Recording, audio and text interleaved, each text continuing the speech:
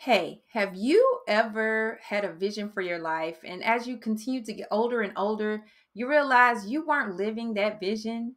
And then something traumatic might happen in your life. And then you come to the realization that you need to live life and you need to live it to the fullest and do everything and anything you want to do because you only get one chance at this lifetime.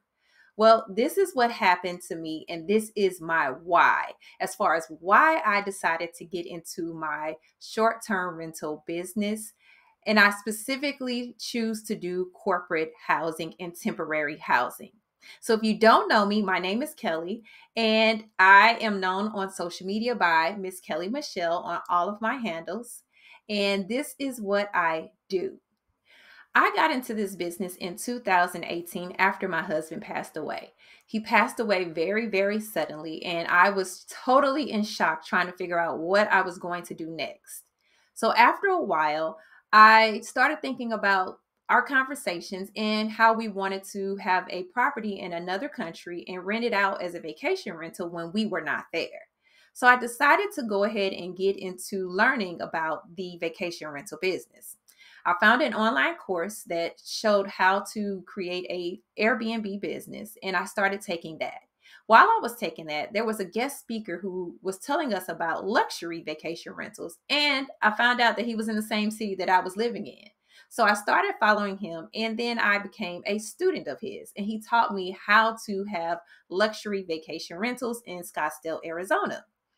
Well, I did that. I was very, very successful, but I decided to move home because I wanted to be closer to friends and family. I did not have anyone of my close family in Arizona. So I came back home to St. Louis, Missouri temporarily just to be closer to people I really, really love and who love me back.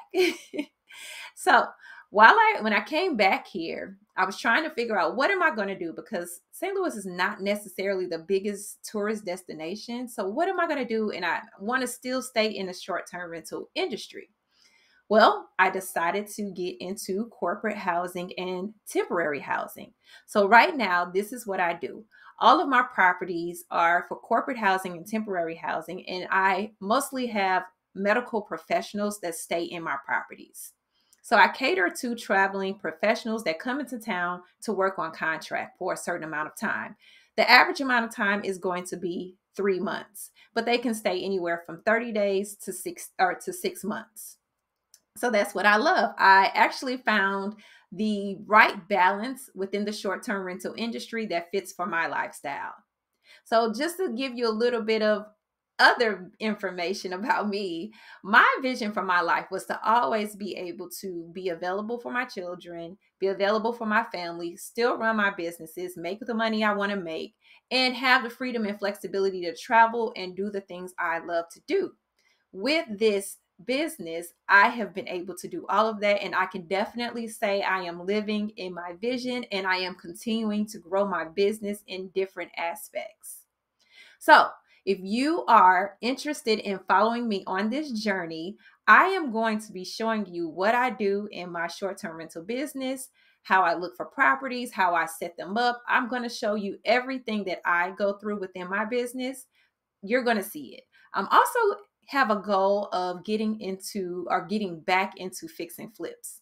So, as I get into that, you're going to see that as well. So anything I am doing related to real estate investing, short-term rentals, long-term rentals, fix and flips, you're going to see it. So follow me along on this journey. I don't know where it's going to take me. I just have goals set for 2022 and I am going to do whatever it takes to meet those goals while you're here following along with me. So make sure you subscribe and like this video so that you can see future posts from me and future videos from me.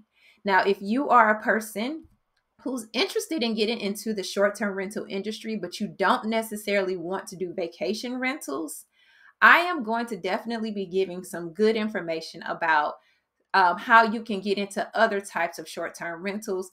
They pretty much follow the same blueprint, but there are some differences that you would need to know about. So, whether you want to get into student housing, corporate housing, temporary housing, transitional housing, there are a lot of different things you can get into within short term rentals. I will be talking about that.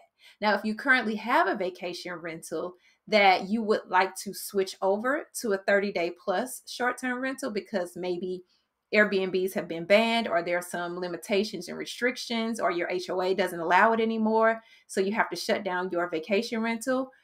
Change it over to 30 day or plus, and I can definitely show you how to do that.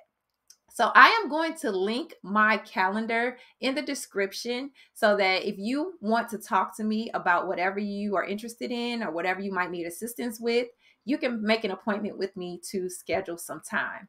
Also, throughout my videos, I will be dropping some freebies for you guys to download. So make sure you pay attention to that as well, and I will be announcing it. But until then, I will talk to you later. Stay tuned. Bye.